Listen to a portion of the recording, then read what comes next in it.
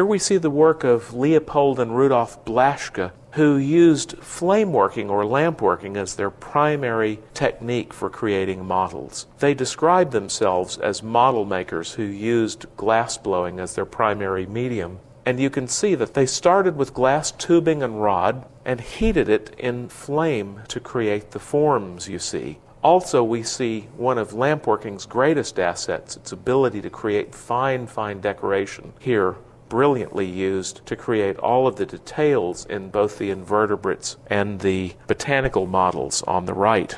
The Blaschkas used very simple tools. In the foreground, you see a pair of tweezers and a pair of pliers. If you look at the model number 38, the fluted edge was undoubtedly made by heating the edge in the flame, and the tweezers have been used to manipulate, zigzagging back and forth to create the crenellated pattern, probably like pinching the edge of a pie crust. The long nosed pliers might have been used for flattening parts of glass, like the edge of model number 25. The fine details of color in the Blaschka models were achieved not by using colored glass, but rather by using watercolors. These models on the left, the invertebrates, were all made of clear glass. The colors were achieved by painting watercolors on the surface of the clear glass.